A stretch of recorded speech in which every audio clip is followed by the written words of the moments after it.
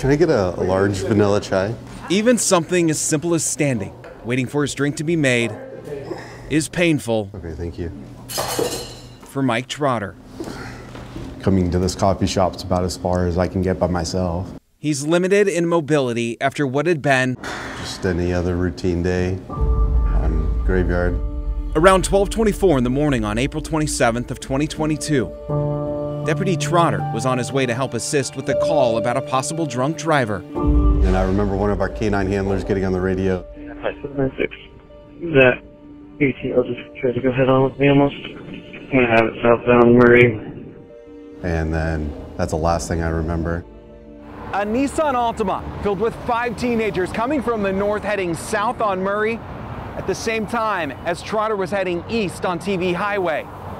Trotter says he was told that Nissan Altima was going around 100 miles an hour when it hit him right on his driver's side of his SUV.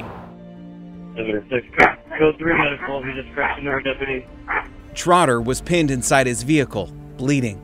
We got one deputy, he's conscious, alert, uh, also heavily pinned. Inside the other car, five teenagers from Beaverton's Southridge High School. 5417 got two a trap, they're pinned heavily. Right in the front seat, there's also three in the back. 17 year old Matthew Amaya and 16 year old Juan Aguilera died. The three other teens, including the driver, 18 year old Xavier Rodriguez, were critically injured. Rodriguez was charged with manslaughter, assault, and DUII. Like I've been at hundreds of those crashes and I don't, I don't know how I'm alive. Trotter remembers waking up in the hospital a week or two later after the accident. He knew that his life had changed. He says he thought of giving up, but what kept him going was his three year old son, Harley. I remember at one point telling myself like it would just be so much easier to die right now. Like this sucks. But I wouldn't do it because it wouldn't be fair for him. Almost six weeks later, he was moved from the hospital to a rehab center and finally went home around the beginning of July. How you want to stay here, buddy? His days now are anything but routine. Yeah. They're filled with physical therapy and doctor's appointments. So I broke both both bones of my right arm.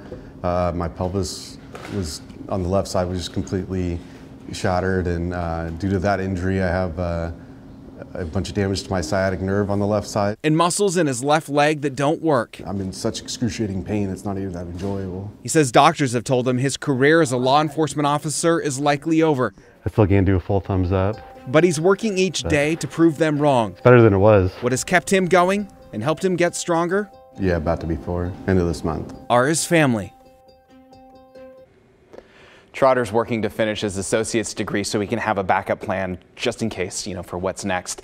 He says the sheriff's office is trying to find a position for him that he can work in given his current limitations.